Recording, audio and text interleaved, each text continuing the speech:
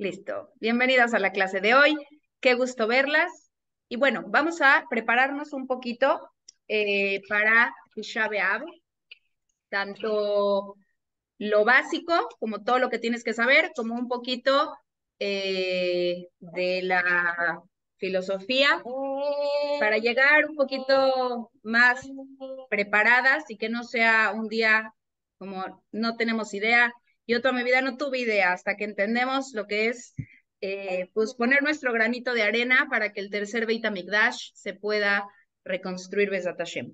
Entonces, eh, lo básico, básico, ¿qué pasa en Tisha B'Av? Empiece este miércoles en la noche y durante el jueves este, hasta la Shkia, no me sé el horario de cada país, perdón, hay que ahí checar, ¿ok?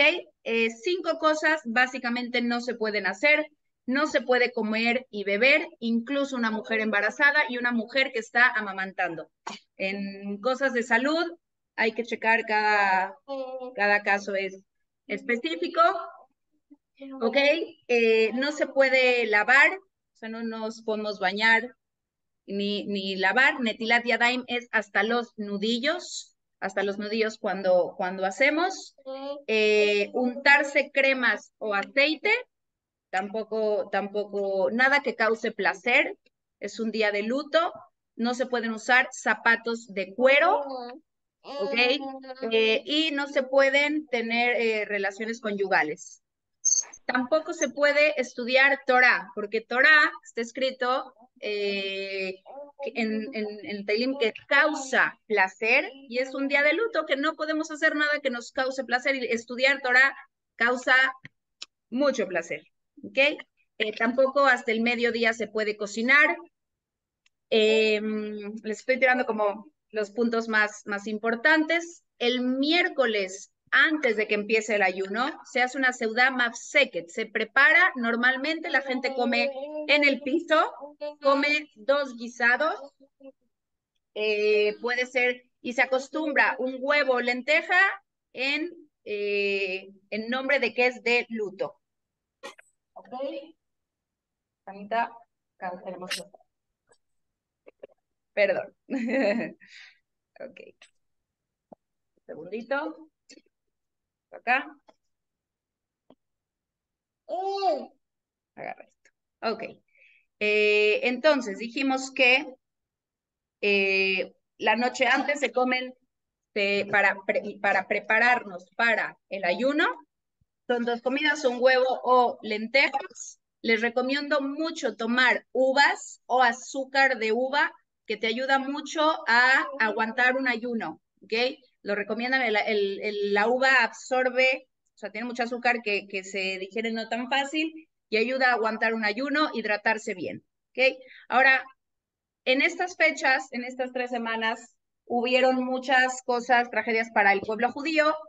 Em, y bueno, por eso recordamos Tisha como, como todas sabemos. Está escrito también que el que come y bebe en estos días no podrá regocijarse, digamos, con Israel, pero el que ayuna y el que llora de corazón, como que siente realmente lo que está pasando, va a poder eh, ver la, la alegría del de Beit HaMikdash reconstruido y de, y de todo lo, lo que va a pasar. Em, eso es como básicamente el paso a paso, uno a uno de las cosas como que recordar para no llegar tan perdidas. ¿Ok? Ahora quiero, eh, si tienen alguna pregunta o una duda, me pueden escribir con, con todo gusto. Va a haber, aprovecho para contarles que va a haber un, un Zoom, eh, como no sé exacto cuántas mujeres, no sé, por ahí como 20 mujeres, que va a hablar cada una 15 minutos. Eh, el día de Tisha B'Av, les recomiendo mucho que entren a ese Zoom, cada quien en su país puede preguntar, porque es puras palabras de Hizuk, eh, para, para este día y se pasa también más rápido el ayuno. Eh, entonces, les recomiendo entrar también a ese Zoom, que va a estar charlas todo el día de Tisha B'Av. ¿Ok? Ahora, ¿qué puedo hacer yo? O sea, ¿cómo, me, ¿cómo se relaciona este día con mi vida? ¿Qué puedo hacer yo? ¿Qué, qué pasa? ¿No? ¿Por qué? ¿Qué, qué, qué tanto hablan de Tisha, de Tisha? Eh, entonces, lo primero que les quiero contar antes es que Pirkei Avot dice que el mundo se sostiene en tres pilares, ¿ok? En la Torah, en la Abodá y en Masim Tobim. El estudio de Torah, la Abodá que hoy en día es la Tefilá y Masim Tobim que son los actos de bondad y de Gesed que hace una persona. Ahora, hay algo interesante. Cada una, cada una de, de estos pilares reparan algo. Y ahí les va. La Torah nos sirve para reparar nuestra mente. El estudio de Torah, el objetivo es transformar nuestro interior y reparar, y realmente el estudio, la sabiduría, repara nuestro pensamiento, nuestras palabras y nuestras acciones a nivel personal, yo conmigo misma, ¿no? Benadam le atzmo.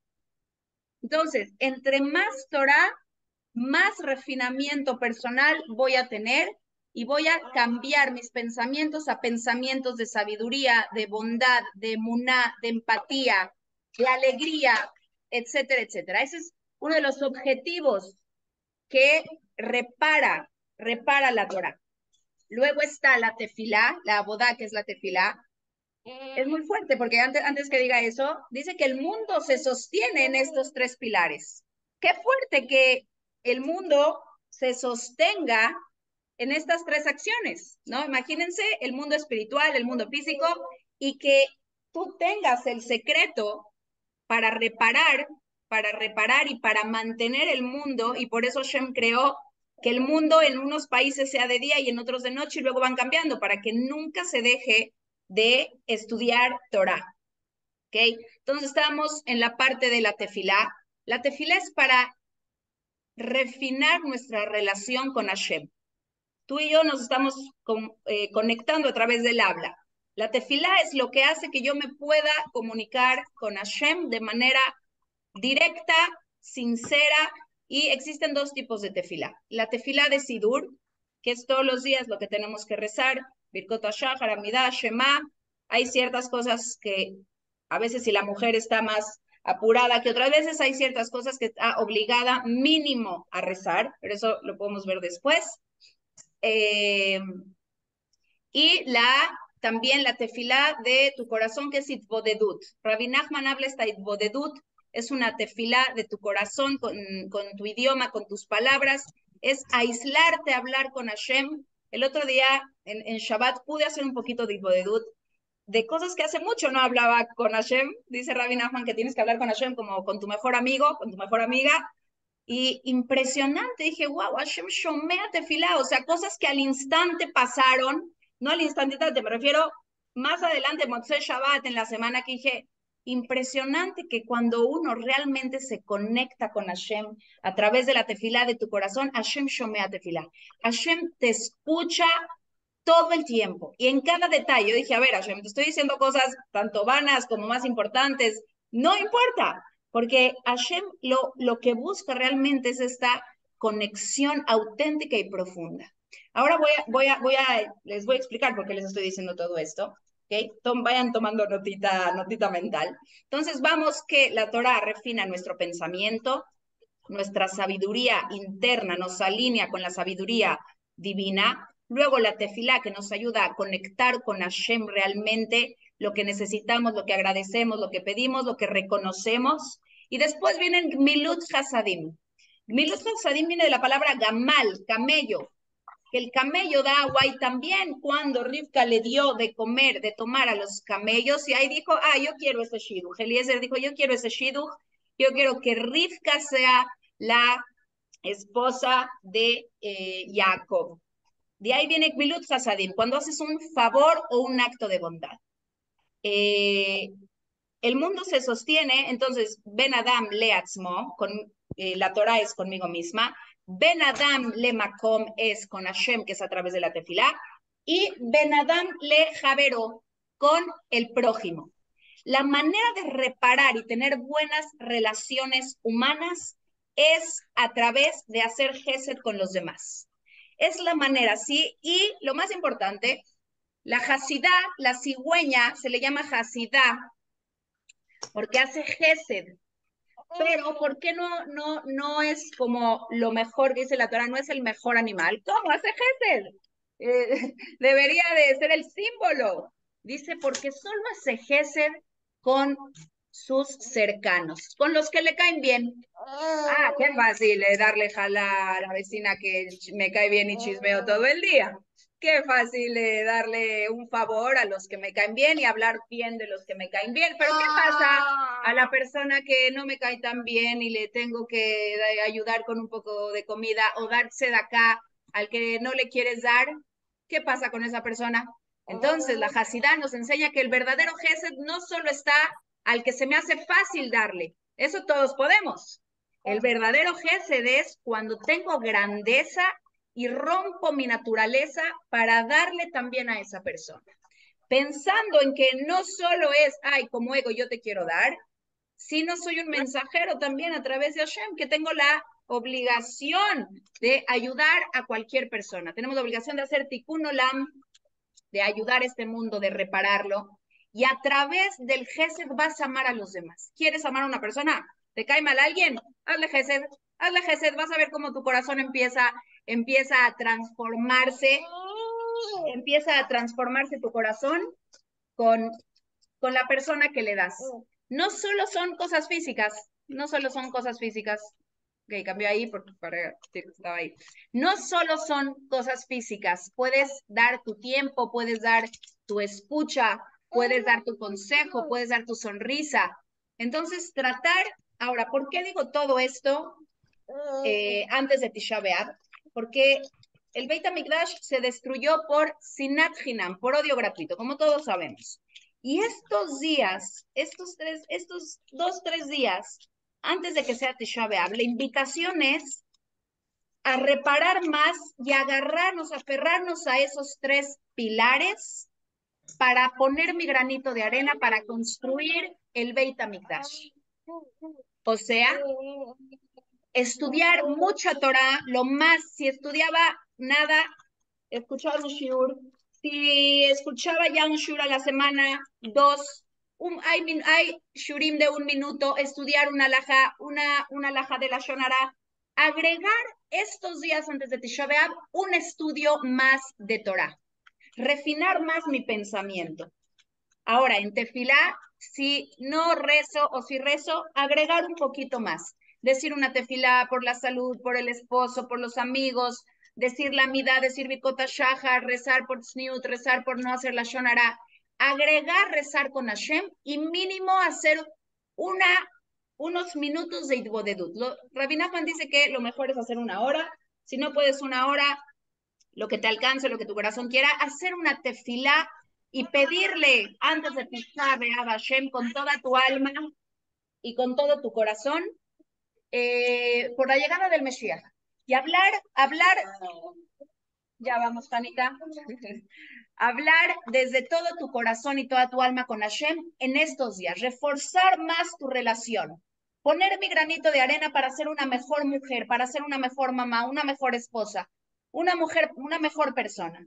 Y la tercera es que me quiero enfocalizar más en esto, hacer todos los actos de bondad que puedas siempre, pero más hoy, mañana, eh, eh, en martes, miércoles, y jueves que, que es Tisha B'Av. Anita. más, más Gesed, pero con la gente que te cuesta trabajo. Con esa persona que no estás bien, mandarle un mensajito. Abad Hinam. O amor gratuito. Hacer actos de amor gratuito que diga, wow, wow, si el Beit HaMikdash se destruyó por odio gratuito, voy a hacer cosas gratuitamente, no por interés, no porque tengo ganas que, que me reciban y que me den otras cosas. Si la persona no me va a responder, no me va a decir, no me va a perdonar, no importa. Pero que en tus manos hayas un acto, que hayas hecho un acto de reparar. Hacer gesed contigo misma también, con la gente más cercana, llamadas, mensajes de reparar, de pedir perdón y ayudar a personas que sabes, darse de acá, darse de acá estos días, de verdad que Hashem diga, wow, mira, esta persona quiere, quiere, quiere hacer algo por, por otra persona, quiere darle vida a otra persona. A todas ustedes y a todas nosotras nos han hecho favores. La pregunta es, ¿cómo te has sentido cuando te hacen un favor, cuando te salvan, cuando te dan algo? ¿Cómo te has sentido? wow, ¿no? Dices, bendita persona, o sea, que Hashem te bendiga, que Hashem te lo pague. Entonces, la tarea de estos días es tú convertirte en el milagro en la vida de alguien más. Ese es el objetivo y la invitación de estos días. Conviértete en el milagro en la vida de alguien más. Entonces, eh, como les dije, este show va a ser un poquito rápido porque estoy acá con, con Janita. Eh, ese es el mensaje claro, es lo que les quiero compartir con todo el alma. Entonces, que Besat Hashem eh, seamos nosotras. Si Hashem te preguntara, ¿hiciste algo para que llegue el Mesías? ¿Hiciste algo para que ya no existan los días de, de Tisha que se van a convertir en alegría, y que puedes contestar sí. Sí hice algo estudiando más Torah, ya vamos. Estudiando más Torah, haciendo más tefilá y haciendo actos de bondad con todas, con todas las personas que pueden. Chicas, les mando mil abrazos. Perdón que este show fue un poco más corto. Eh, les aviso cuando es el próximo shiur. Traten de realmente que sea un ayuno significativo.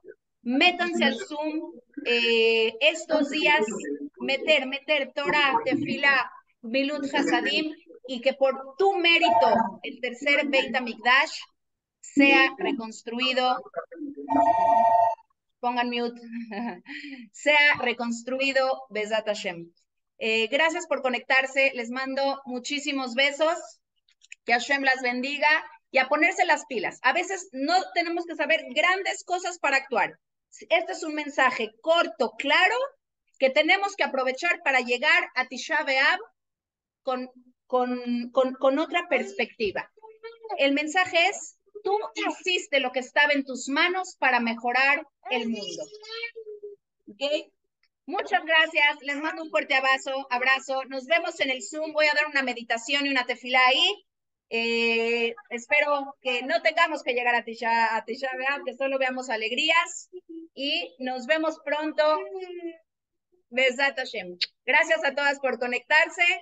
Eh, y nos vemos en el siguiente Shiur.